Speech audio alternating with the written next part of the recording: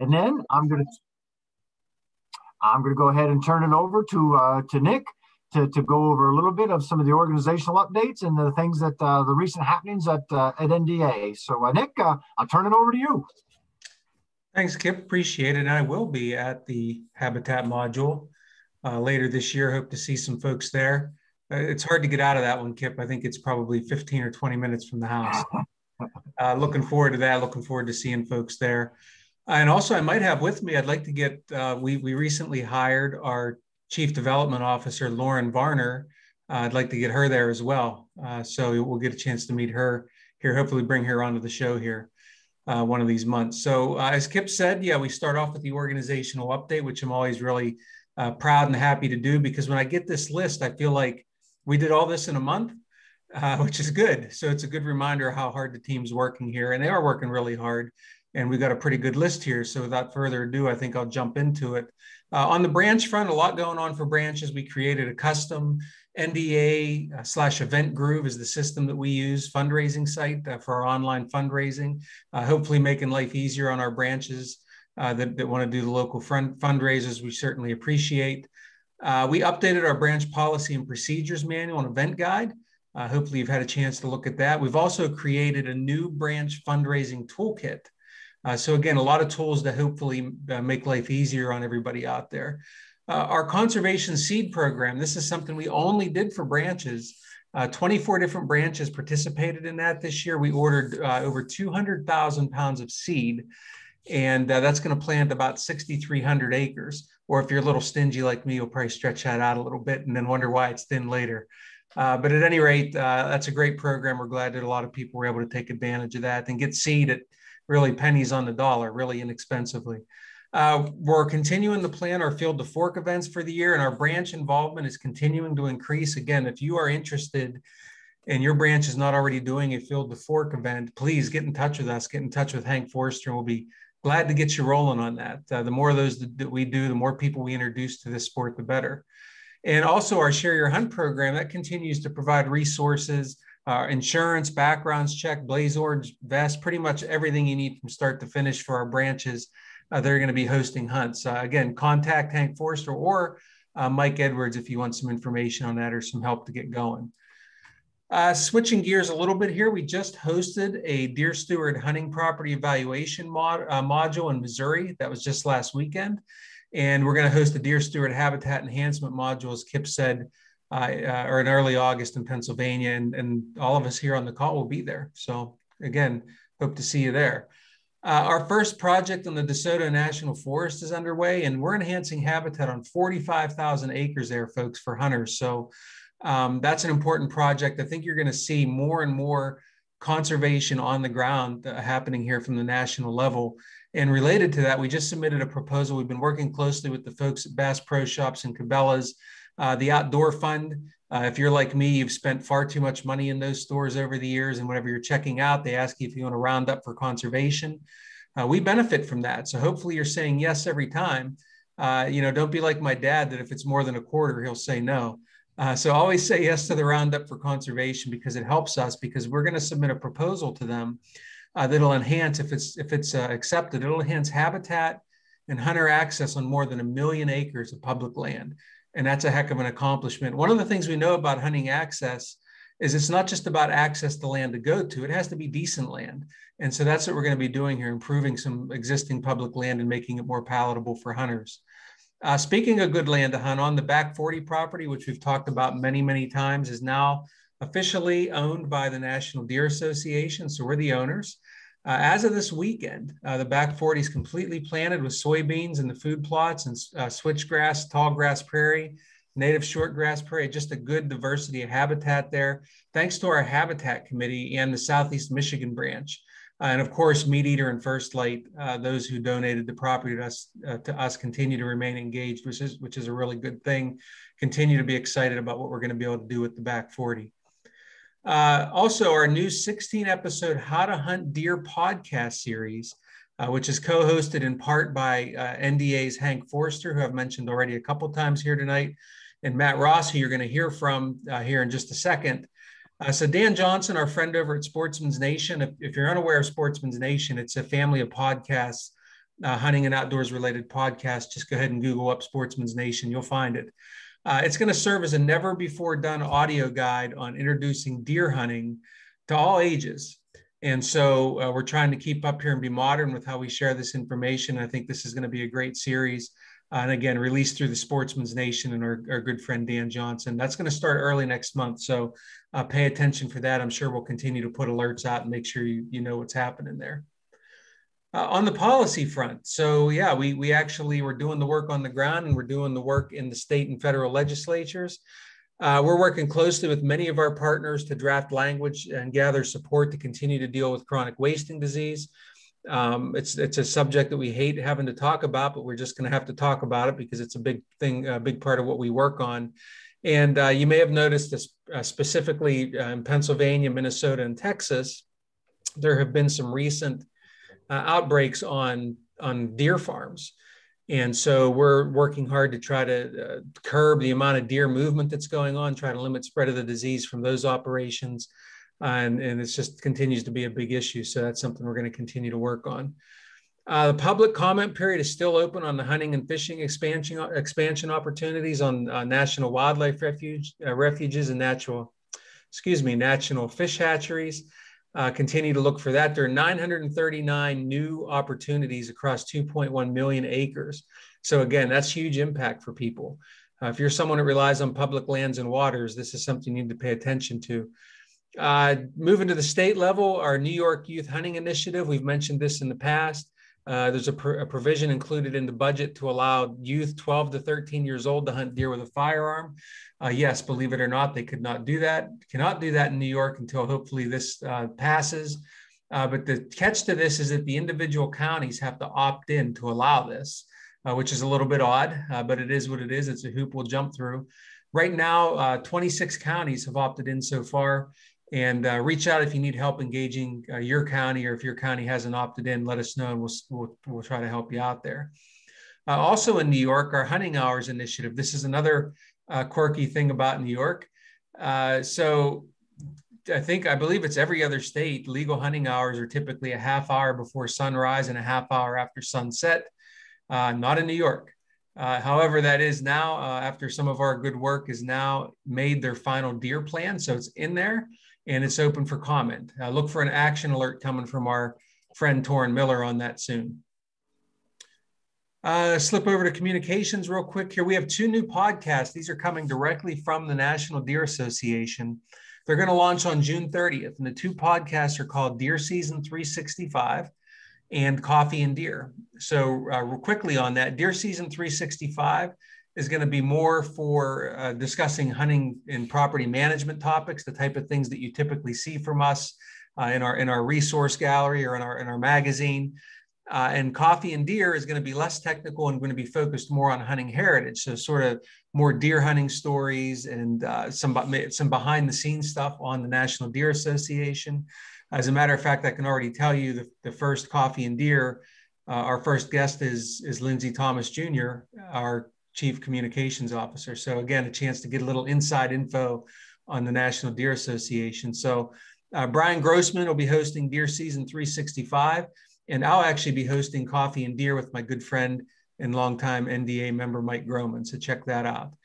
Uh, finally, the summer issue of Quality Whitetails magazine is at the press and it'll be coming out soon. Uh, that got uploaded at the end of last week. And there will be an NDA decal included with your magazine this time. So I know you read them all cover to cover, but definitely make sure you read this one cover to cover so you don't miss your decal. Uh, they may be stuck on the back, but they also might be slipped. I'm not going to tell you how you're going to get them because I want you to make sure you check out the full magazine. But also, uh, this is something Lindsay wanted me to tell you. If you're not already an NDA member, and I can't imagine anybody on here would not be a member, but if you're one of those people, uh, if you become a member quickly here, you'll still get this next issue of the magazine and you'll get the decal. So don't delay uh, jump off this call as soon as we're done and, and, go sign up. Make sure that you are a current member. So with that, a little long-winded, but I, I, just couldn't be prouder of the team and all the different things that they're doing for deer and hunters. And it's impressive. And I can tell you that this is, frankly, this is just a summary of a lot of the things going on. So with that, let's turn it back over to Kip and, and he'll turn it over to Matt.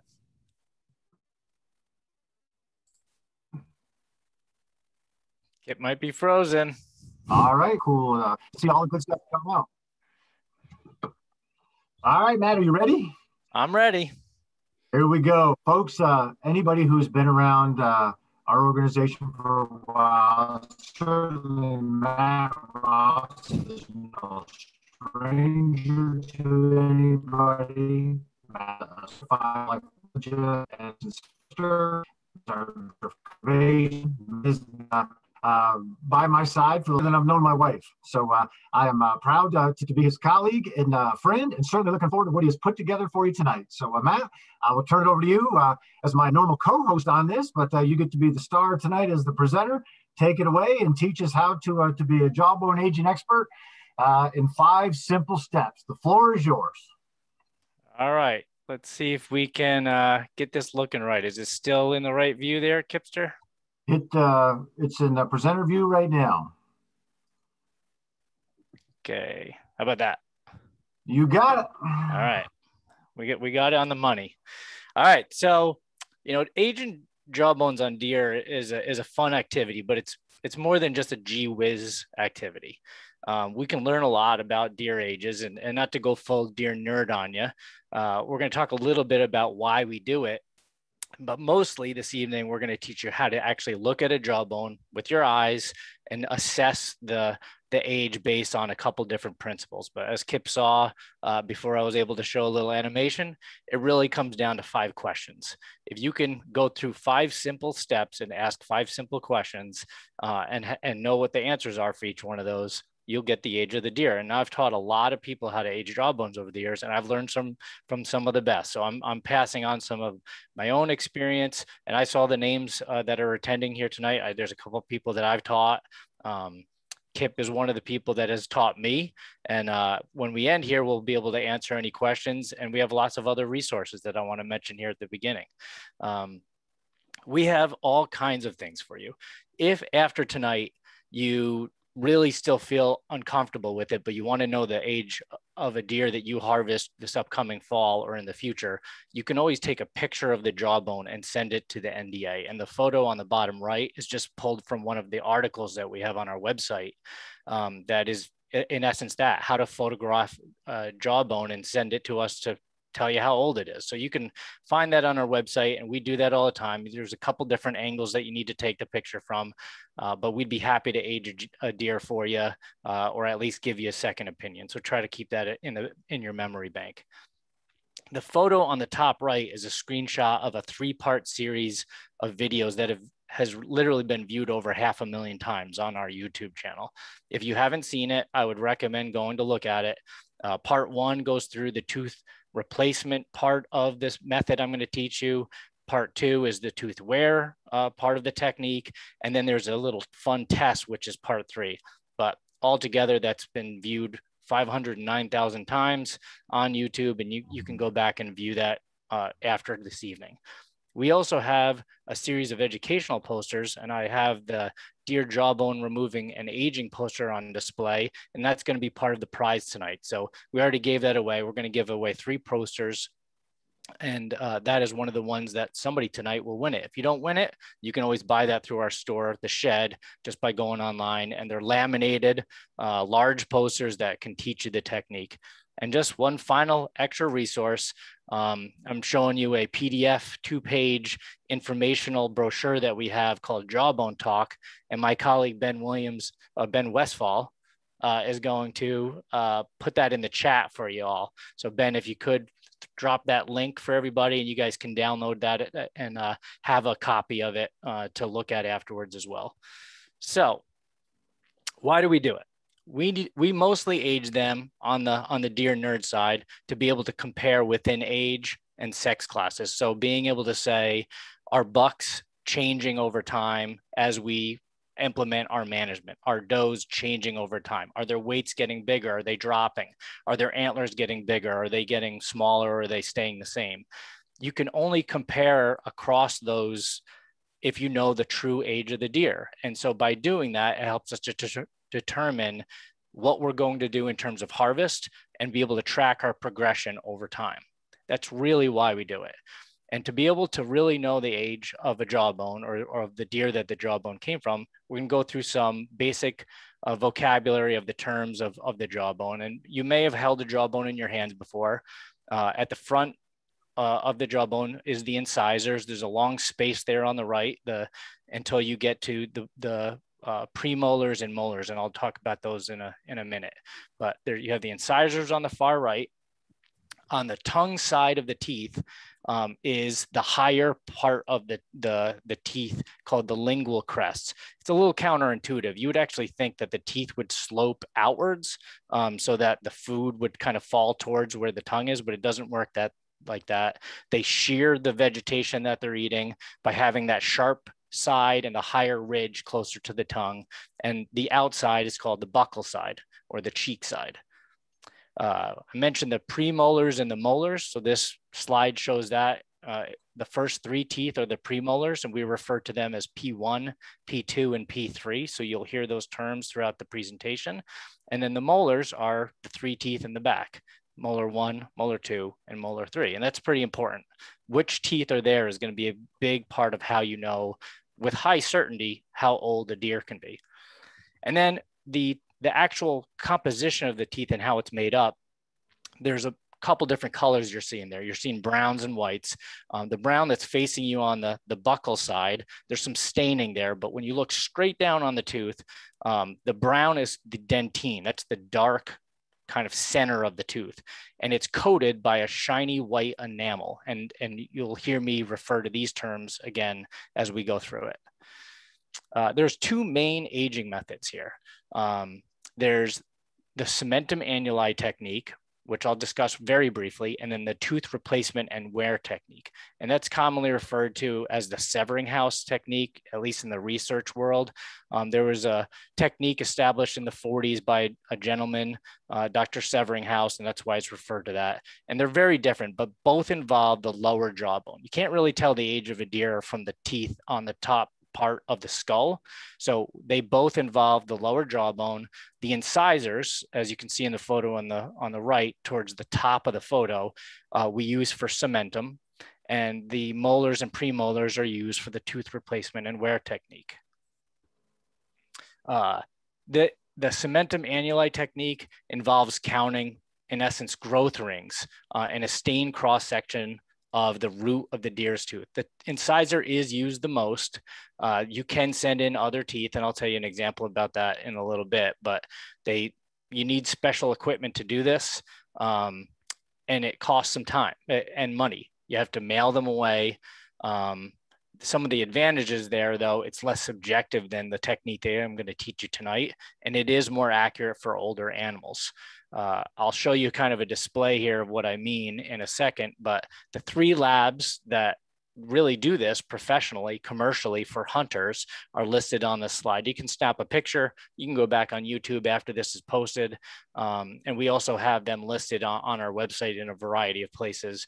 But there's a couple places in Montana, there's a place in Michigan, and those are the only ones, at least that I know, that you can actually send uh, the incisors in. And it takes several weeks to get back cost varies anywhere from $25 to $65 $70 a tooth. Um, but in some of the cases on the examples i'm showing here you can batch them together and, and get some cost savings. But that's the cementum annuli why would somebody want to do that? Well and send a tooth in. The cementum annuli method is actually as i mentioned more accurate for the older ages. Um, and as you can see here this accuracy level um, they're about even. The method i'm going to teach you tonight um, tooth replacement and wear and cementum annuli are about the same accuracy around three and a half years of age. So if the deer was actually three and a half, they, they have the same accuracy. For younger deer, tooth replacement and wear, wear technique, the one I'm going to teach you, is actually more accurate than spending money and sending a tooth in. Um, but if you get a deer that you think is of advanced age, really old, the accuracy does increase with the one that you send in a tooth. And you might want to learn by uh, sending that in. Now let's talk about tooth replacement and wear. Uh, it does have two names in it or replacement and wear because it really involves two processes. The tooth replacement technique or part is the process of gaining additional teeth over time and replacing temporary teeth with permanent ones. I have two little kids. Uh, they're still losing some teeth and, and growing some new ones. Um, this is why we have such high accuracy at the younger ages is deer up until two years of age are still replacing some teeth. And by being able to determine which teeth are in the jawbone, you can have a 100% accuracy on the age just by looking at that part of the process.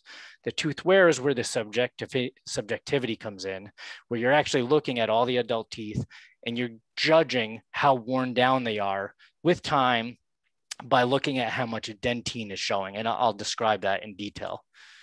Um, the tooth replacement part, again, I mentioned they are born with three temporary teeth. These are the premolars that I mentioned a few minutes ago. But by about a year and a half of age, they've gained not only their three permanent molars, but they've replaced their temporary premolars with permanent ones. All deer that are 18 months of age or older should have six permanent teeth on each side of the lower jaw. And that's going to be a key aspect that I'll talk about in a minute the tooth wear part of the technique. And if you can imagine, this is the side view of a tooth uh, where the inside is that dark dentine and it's got the white coating of enamel on the outside. The more wear it, it, it experiences, the more uh, dentine is exposed. And you can imagine if you're looking down from the top of the slide, the, the brown is going to get wider and wider and wider. And I'll show you some graphics here in a minute that display that. Um, the way when I teach some people, kids and adults, I think of it like the Tootsie Roll uh, center owl, where he just kept licking the lollipop until he exposed the, the Tootsie Roll. That's really what's happening here. The deer wearing down that enamel coating to the point where more and more dentine is being shown. There are some distinct advantages to this. Obviously, it doesn't cost you anything. You can just do it um, and be able to, to look at it and do it in real time and say that's how old that deer was. The disadvantages of clearly are that it's more subjective and it's highly dependent on the experience of the individual ager. You got to actually look at lots of jawbones from the place that you're hunting and do some uh, ground truthing. You know, maybe send some teeth in to, with the cementum annuli uh, test to come back and say, uh, are you are you underaging on average? Are you overaging on average, or are you kind of on the middle?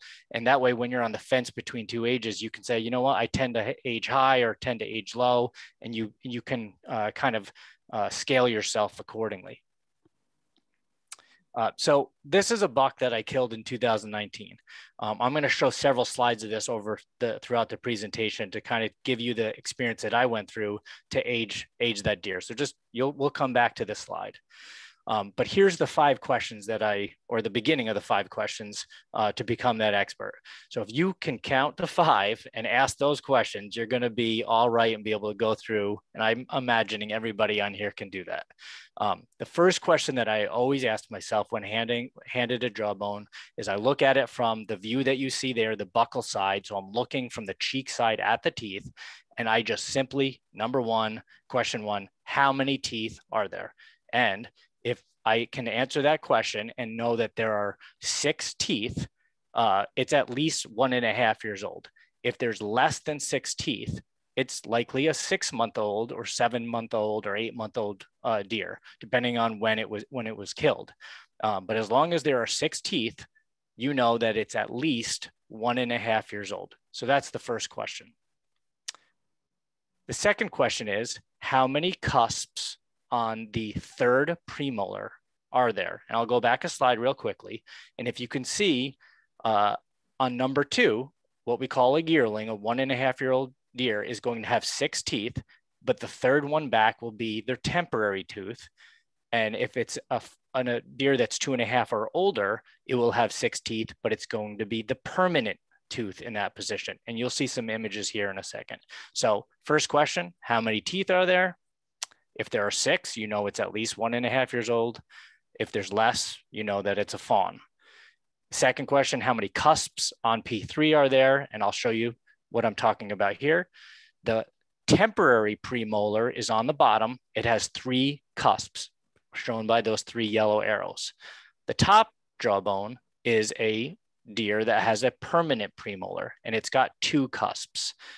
So here's again, and you can see the progression from fawn to the middle is a yearling where it's actually starting to replace that temporary tooth and a full adult on the top. So we're always looking at that third tooth back from the front or P3 and counting how many cusps there are. Uh, The key for the fawn is that there are less than six teeth. In this example, there's one, two, three. The third one has three cusps, four teeth being shown. On the yearling, it has six teeth, but the third one back is going to have a temporary premolar. So it's got the three cusps. And this one says no permanent tooth is actually erupting underneath it. You wouldn't see if that deer was alive, the gums would cover it, but it's getting its new tooth and it's about to replace it. And here's that buck that I showed before. How many teeth are there? Let's ask, let's go through the first question. Hopefully you can all see it. I got it well labeled. There's three premolars and three molars. So we know that it's at least one and a half years old. So I did not kill a fawn in 2019. How many cusps are there in the third tooth back? You can see there in the image blown up. We know that there are two.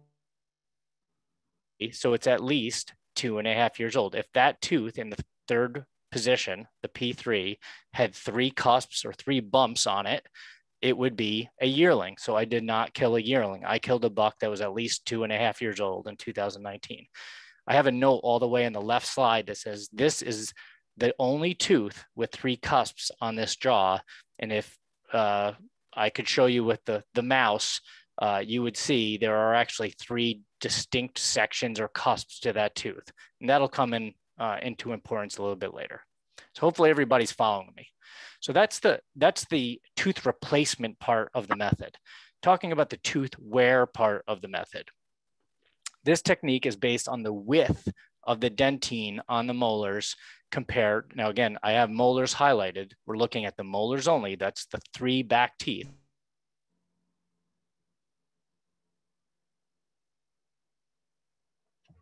This slide I had up earlier in the presentation, anatomy of a jawbone. The dentine is the creamy Tootsie Roll center, right? And the enamel is that white hard shell on the outside. So we're looking at the first molar or the fourth tooth back for the next question. So questions one was how many teeth are there? Again, I'm going to repeat myself a lot in this presentation. I do this when I teach people live. If there are six teeth, you know it's at least one and a half. If there's less than six teeth, you know that it's a fawn. The second question is how many cusps on the third premolar? If there are two cusps, you know it's at least two and a half. If there are three, then you know it, you stay at one and a half. It's a yearling or one and a half year old buck or doe. On the third question is, is the dentine visibly wider than the surrounding enamel on the first molar? And I'm gonna show you exactly what I'm talking about. So in this example, looking down from the very top of the jawbone, this is key. This is one of the things we ask in that blog on our website on how to take a picture is we want a photo from the outside, the cheek side, looking at the profile of the teeth, but we also want one looking straight down on the teeth from the top view. And what we're looking at is the lingual crest, that's the tongue side, the tongue side crest, and the, these white arrows are showing uh, what I'm talking about. And you're kind of taking a visible average of the width of the dentine compared to the average width of the white on either side. It's not like I'm adding those two red lines together. And here in the example on the tooth on the left, I have a, it says no. If I was going to show you that view from the top, the white is not really a lot wider. They look like they're about the same width as the the distance of the brown or the dentine.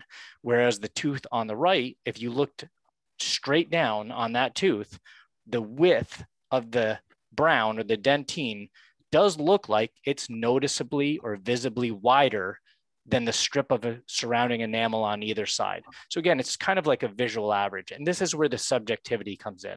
I'm looking at not only both sides, the white on the left and the right of the, of the diagram I'm showing you, but I'm actually looking at both cusps.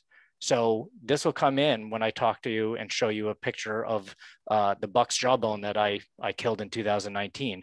But you're, you're using your best estimate with your eyes. Hopefully that makes sense. So if we get through questions one and two, and in question three, we say, is the dentine visibly wider of the enamel, the strip of enamel on M1? And we say no. If the answer to that question is no, we stay at two and a half years old. It's got six permanent teeth. It's got a permanent third premolar. This is what it says at the bottom. And the dentine is not as wide as the surrounding enamel on the first molar. So we stay at two and a half. If we say yes to that question, if we ask the same question, we say yes, we know that the deer is at least three and a half years old. And we move back a tooth. So the fourth question is, is the dentine visibly wider than the surrounding enamel on the second tooth? And so if we say no to that question, we stay at three and a half. If we said yes to both questions, we know the deer is at least four and a half years old. So again, if we say yes to question three and no to question four, we stay at three and a half. And in this example on the slide, the dentine is as wide on the first, but not the second molar. Um, and here's a key. One of the hardest two ages, or I shouldn't say one, two of the hardest ages to uh, differentiate is between two and a half and three and a half. There's a lot of deer in those age groups. A lot of people kill bucks in those age groups, and they want to know. And one of the keys to that is that last tooth, the third molar, the last cusp, that back cusp starts to show some wear. And so I blew that up here. I zoomed in for you. At three and a half, you can start to see some dentine showing on that last cup cusp, the, the red arrow showing to it, and it's actually slanting a little bit. Um, and actually, this back edge of the middle cusp also has dentine. You can see in this photo, there's a thin strip of dentine showing.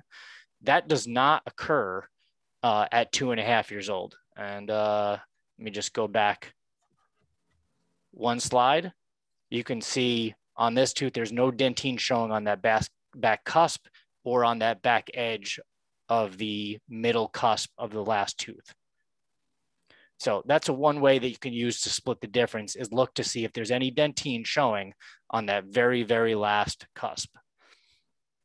If I say yes to questions three and four, and I say no to question five, I stay at four and a half. Um, if I say yes, yes, yes to questions three, four, and five, the dentine is wider on all three teeth, we're at least five and a half years old. Um, and at this case, you're going to see some severe cupping and slanting in that last cusp of the last tooth. It's the last one to erupt, and that's why it starts to show. So that in a nutshell is the technique. I'm going to give you some other guidelines here in a second that we're going to look a little closer at the buck that I killed uh, in 2019. Uh, but deer can get pretty advanced age and there's actually ways to age even past five and a half plus. I'm stopping here to tell you that you really don't need, from the deer nerd standpoint, um, you know, from a gee whiz standpoint, it's always really great to know exact ages of deer or, or get as close as possible. We'll never know the exact age. A lot of this is still guessing based on science, but it's still guessing. Uh, but deer up until five and a half, in terms of being able to manage a deer program manage a property or a group of properties like a co-op, you don't really need to know um, past five and a half. What you can do is know whether deer are young, you know, one years old or younger, if they're those middle ages, two and three, and if they're older ages, four or older, or even five and older, and being able to, to, to, to determine based on your goals, if you want to shoot and see older deer, and on average, the bucks that you're killing are of the middle age group, uh, how many of them are actually making it into those older ages, you can just group those and kind of stop at five and a half, and it's good enough for management. Um, but past that, being able to know a little bit of a G whiz factor, uh, we'll talk about that. So again, you can take a photo or screenshot this, but here's my five questions. Uh, how many teeth are there? If there's six teeth, we know it's at least one and a half years old. How many cusps are there? If that third tooth back has two cusps, we know it's at least two and a half years old. If there are three, we stay at one and a half. If the dentine is visibly wider than the surrounding enamel on M1, uh, we know it's at least three and a half. If it's a no, we stay at three and a half. Question four is the same. If we say yes, we know it's at least four and a half. If it's a no, we stay at three and a half. And is the dentine visibly wider on question five on that last tooth on M3? If it's a yes, we know it's at least five and a half. And if it's a no, we stay at four and a half. That is tooth replacement and wear. And now you're all an expert. How do we know older than five and a half? Well, I don't normally teach this in our Deer Steward classes, but I'll give you a quick overview of how to do this. Um, one of the things that you start seeing past five and a half is real deep cupping of the individual uh, teeth, especially the molars. Um, and one way that you can start to determine this is to look a little bit closer at those three molars. And one thing I want to draw attention to is something called kind of a nerdy term, but it's called the infundibulum. And that's the strip of dentine that's still showing in between the lingual crest, which is the tongue side, and the buccal crest or the buccal side. Um, there's that kind of permanent spot where there's a hard ridge.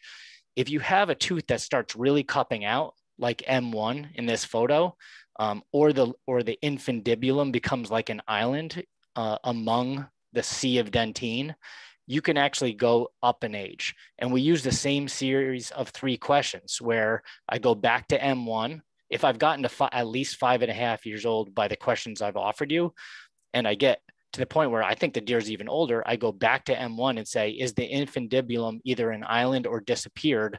And if it's a yes, I go back a, a, a an age. Uh, if it's a no, I stay at that age. So in this example, I would say yes to questions three, four, and five. I would go to question six would be what's the infundibulum on M1? And that's a yes to me. So that deer's at least six and a half. I'd go back to M2 and the infundibulum's still there and it's not an island. So I'd say no. So this deer is six and a half years old based on the technique that I'm teaching you. How old do deer really get? Um, you know, talking about once you get up to eight and a half, it's really hard to tell by tooth replacement and wear. And this is where maybe sending something in by cementum would be an advantage. Uh, this is actually a, a, a photo taken from our membership magazine called Quality Whitetails. If you're not a member, as Nick said, please join. Um, but this jawbone in the bottom was a doe taken from Georgia uh, in 2017, sent in to one of the labs I mentioned earlier, Matson's lab, um, and it came back age range of 14 to 16 uh, with a guess of 14 years old, and the age rating was a B. So they give, based on how clear the sample is, an A, B, or C scale uh, on their um, confidence of what that age is. So that that doe that Mr. Janes killed in 2017 was somewhere between 14 and 16 years old, and their best guess was that it was 14. Um, we know just from looking at the records that in captivity, there have been several deer that have lived to 23 to 24 years old. Um, in the wild, uh, out of 327,000 samples, this lab that is on the screen, Matson's lab is the one that most state agencies, if not all, send not only deer, but all wild animals. Um, they become kind of the gold standard for, for professional managers, and you can send your teeth there. I do every year. Um, out of almost 325,000 samples, the oldest wild deer they've ever aged was a 22 and a half year old doe taken from Louisiana. Um, but I can tell you from personal experience, depending on how long you may or your neighbors have abstained from shooting deer, um, especially does, they can live in the wild at, of advanced ages. And I personally have sent in samples of deer in the 15s and even one up to 20 and a half years old. So it's pretty amazing how long they do live even in the wild. It's rare, it's not an average thing. So let's get back to my buck uh, to finish the presentation out. Uh, we know that we got to at least two and a half years old on the last slide I showed, right? So this is a real world example of a deer that I guessed his age based on photos, um, killed him with my bow and wanted to know how old it was. And I imagine many of you do the same thing or will want to. So I wanted to get this deer age. So I actually shared um, picture, these pictures of the jawbones to Joe Hamilton, who our founder, who's um, aged more jawbones than I think anybody in the world, uh, certainly more than anybody I've ever met, and Kip. And we all kind of came to the same estimate, which made me feel good. And I did not tell them about the deer, how much it weighed, or send them pictures. Um, but I'm going to guide you through the process of, of aging it as well. So we got to at least two and a half. And then we get to question three is the dentine visibly wider than the surrounding enamel on M1. And so I have a side and top view for you folks. And as you're looking at it, follow those dash lines up to the top of the screen. It's that fourth tooth back and take a guess. What are you thinking? Is that brown wider than the enamel on either side? And you can type it in, you don't have to. But if you said yes, you're going to bring that deer to at least three and a half years old. If you said no, he would have been a two and a half year old buck. Hopefully, you had that in your mind. I'm sure many of you have already moved back to the next tooth.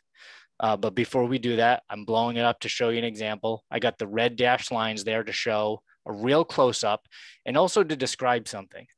You got to look really close at these teeth, folks, because you can see the brown um, and you can almost see a glimmer of white. There's actually almost a creamy whitish brown color that's actually in between there that is still dentine. Some of it can get bleached out, but the enamel is this really hard material. It's got a, sh a, sheen to it that the dentine doesn't. And so sometimes looking really close helps. But yeah, we all said yes. Uh, so this deer was at least three and a half years old based on tooth replacement and wear. Moving back a tooth to the M2. So we're now on the fifth tooth back from the front.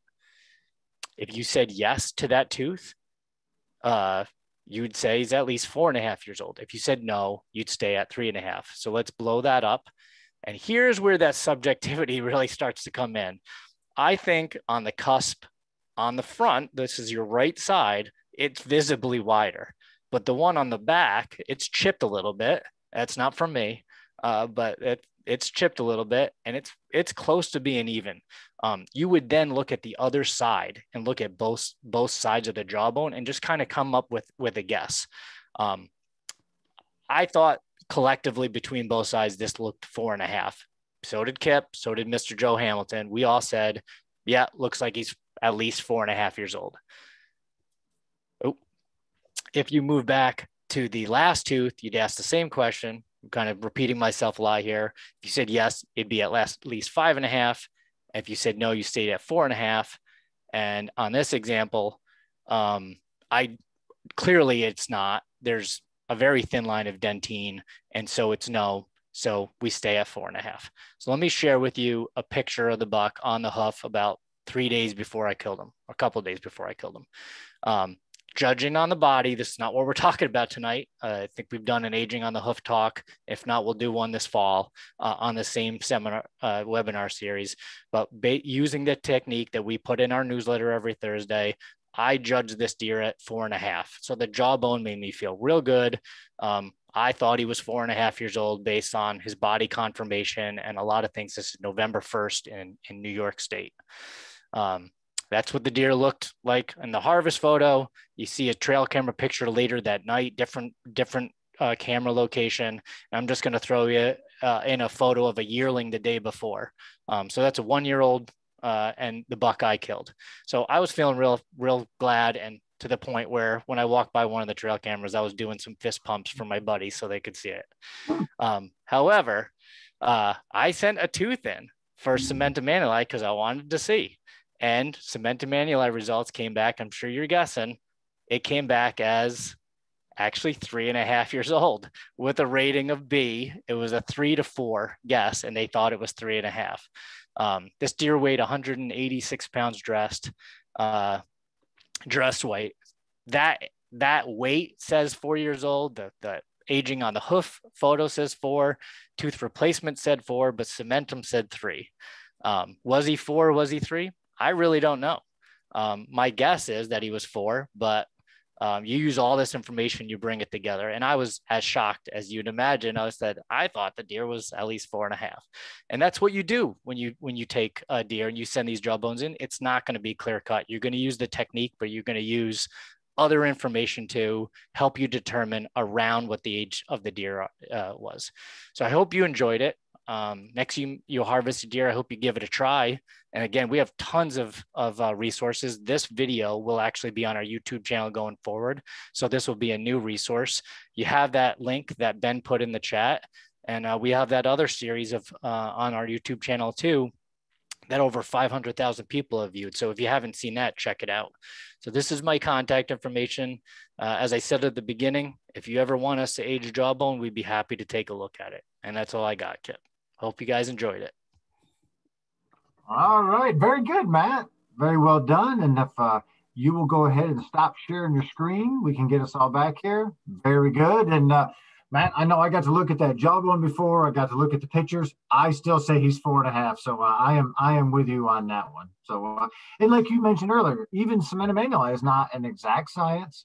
You know, very very accurate to within a year, and just the fact that it came back a B rating rather than an A rating, um, I'm going to bump up, and uh, I think that uh, that you shot a four year old. So congratulations again. So the fist pump was was worthy then, huh? Absolutely. Absolutely. Yeah. And for everybody, what Matt didn't tell you is actually it's his neighbor that shot that deer and just like to poke with it. It's his neighbor's camera. So uh, everybody likes Matt. Uh, feels bad if Matt doesn't kill a nice deer. So it wasn't really Matt's deer, but uh, he has a he has a good friend next door. So now obviously Matt's deer, excellent job, Matt. First question for you. Uh, it's actually a two-part one. Does supplemental feeding or mild winters lessen the accuracy level for the cementum annuli technique? Well, I'll, I'll answer that in two parts. For uh, the winter part of the question, one thing I did not mention, I appreciate uh, the question, is that the further south you go in the country, uh, the less uh, accurate cementum annuli technique can actually work, um, mostly because of the, the uh, deposition of some of the uh, materials that happen there.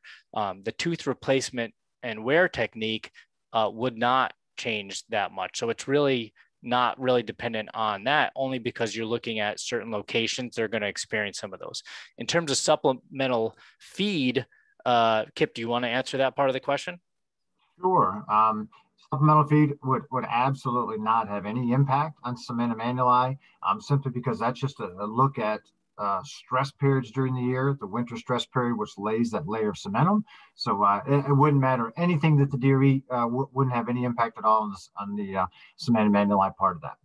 And actually, Matt, that probably actually goes into a neat question. Uh, um, how about this? I'll ask this one. Um, if a deer lives in uh, a place that has more sandy soil versus more loamy or clay soil, does that impact uh, estimates of the tooth wear replacement like you gave tonight?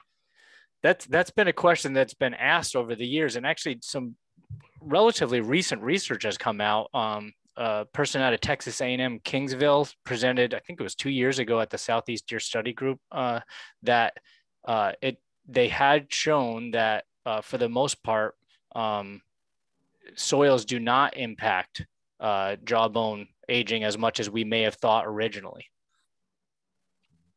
Oh, I agree. I agree. So uh, that's right. That was that was a big myth for a long time, and it sounds like it ought to work, right? If you're eating more stuff, and but deer aren't eating the sand, they aren't eating the dirt, so uh, yep. yeah, that, that's not impacting tooth wear replacement either. I'm trying to remember. They sampled deer across the country. I'm trying to remember how many samples they tested, but it was only two years ago that this project had been done. So we're still learning a ton about deer, even how to age them by their teeth. Mm-hmm. All right. Uh, any other questions that folks have, you're welcome to, to put them in the Q&A there, and, uh, we'll be sure to get to them. Um, Matt, next question is, uh, can you explain how to remove a jawbone? Great question. Uh, so there's a couple different ways uh, that you can remove a jawbone um, one of the ways that we teach people in our Deer Steward classes is use a cool, a, a really nice tool um, that is called a jawbone removal, where you, uh, we also have instructional videos on this, uh, sir, where you can go and watch this. Um, you pry the deer's mouth open, you uh, look straight down through the mouth, uh, you use the tool to keep it propped open and use a set of shears to clip the back of the jawbone uh, where it curves up and goes into the to the skull above the teeth. Uh, and then you can hook behind it and pull out and it and it just pops out. It's pretty easy. Um, if if you don't have access to a, that tool there's only a couple places that sell them um, you can make one uh, and you can also just cut it out. But believe it or not as as complicated as the process looks uh, by using that tool, it's relatively easy to do it, especially once you you've practiced a couple times. In fact, one of the videos on our YouTube channel, uh, Ben's actually putting it in our chat right now. Thanks, Ben. Um, is a video of Kip showing you how to do it with one of the tools that we, we have sold in the past out of our store. Very good, Matt. Next question is, uh, does it matter which side of the deer's jaw you use?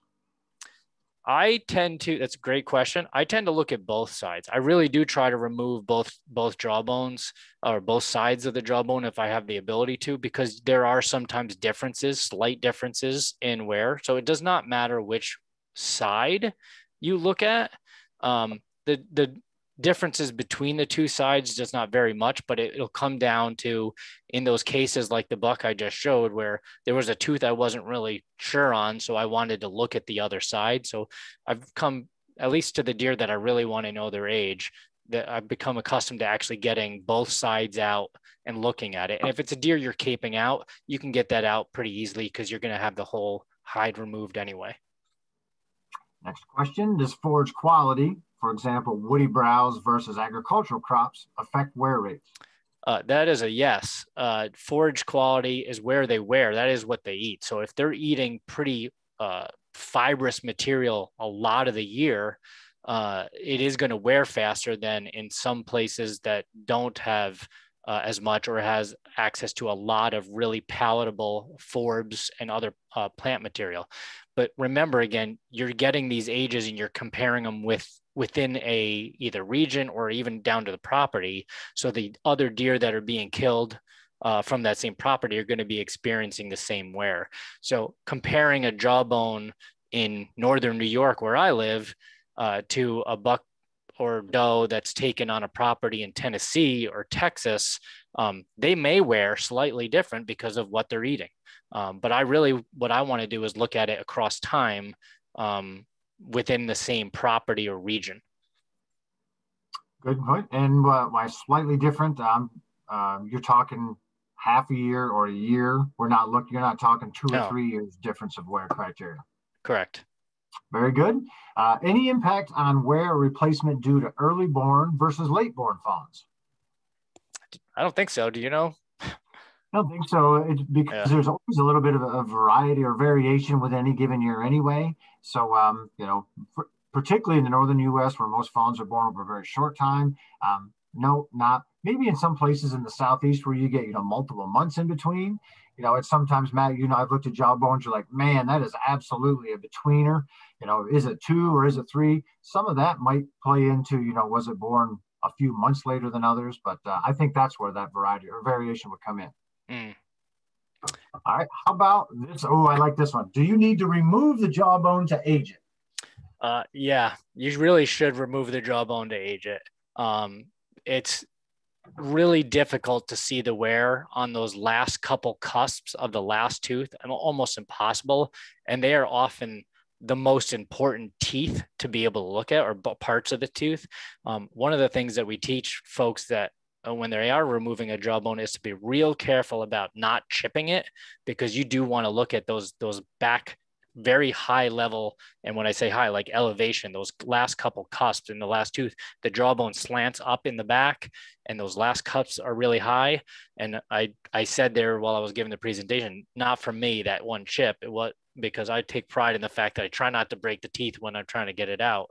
Um, but yeah, you really should, sir, that, that asked the question, try to get the jaw the jawbone out of the the the deer, even if it's not using a tooth removing uh, or jawbone removal tool. Just use a knife, cut away the cheek, and you can start working your way around the jawbone and then pry it out. Uh, to get a better look if you have to, even if it's not fully removed. But you want to be able to see all six of the permanent teeth, premolars and molars from the side and from the top. And you can't do that when it's in the mouth of the deer. Good point. We got one more question, which is, uh, is actually a clarification, I think, of one of the questions, and then we'll do the final announcements and the prize giveaway.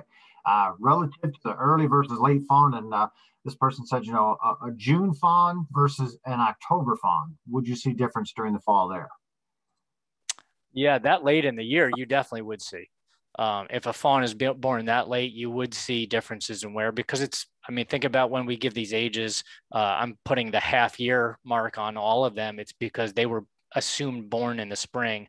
If you do send in a tooth um, to to get cementum annuli tested, they're gonna they're always going to ask you the kill date or approximate kill date if it's a deer you found dead. Um, uh, and, and, they will give you an age estimate back based on that date because they're going to to assume that the deer was born sometime between probably April and June.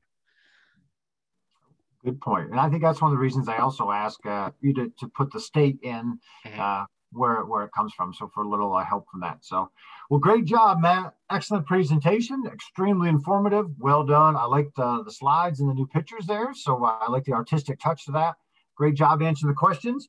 Everybody, uh, we talked a couple times about being an NDA member. I certainly hope you are, or if not, I hope uh, after seeing some of this tonight and hearing what's going on, we can encourage you to join and, uh, and be one of our members. We put a link in uh, the chat tonight, but uh, if you didn't see that, you can go right to deerassociation.com and join. We would love to have you uh, become a member. Upcoming webinars next month, July 12th. We have Brian Grossman uh, who, from NDA as well. Brian's a wildlife biologist and works in our communications department. Um, Brian is a big public land hunting guy. So his talk is on enhanced scouting. He's going to teach you how to scout your hunting property fast and effectively, whether this is private land or public land. Uh, Brian is, is extremely adept at the scouting end. And uh, so we try to cover some habitat stuff, some biology stuff, some hunting stuff as well. So uh, that's going to be our presentation next month. And uh, all right, drum roll, please. We have our, our prize giveaway. Uh, a three poster set. This is going to go to the first person who answers this question correctly. Uh, type your answer in the chat. I have the chat box open, so not the Q&A, but type it in the chat box. I have that open right now, and we will see the, who answers this correctly first. The question is relative to aging a jawbone. If you're looking at a jawbone and it has six teeth, you know it's at least uh, one and a half years old. The first molar, the dentine is noticeably wider than the enamel. The second molar, the dentine is noticeably wider than the enamel. The third molar, the dentine is not wider than the enamel. How old is it? Four. So it would be, they are flying in. Let's see who got the answer would be four and a half because the question would be yes, yes, and no. So four and a half. Uh, Uh, now I've scrolled way past. Uh, first four and a half is Gary Landry. So Gary, congratulations. Do this, Gary. Uh, I think that I may have your email address, but email me your mailing address. My email is kip at deerassociation.com. That's kip with one P, K-I-P at deerassociation.com. Give me your mailing address, uh, Gary, and uh, we will be sure to get that poster series uh, right on its way to you. So uh, with that, we are right at uh, what, 8.02. So uh, right at the top of the hour. Thank you, everybody, for joining us. I hope you're all doing well. Have a, have a wonderful, wonderful June. Uh, pull some jawbones uh, this fall. If you have some in your in your uh, camp or your house, grab some now, take a look at it, and uh, come see us uh, next month when we talk about scouting. Have a great night, everybody. Thank you for joining us. Good night, everybody. Thanks.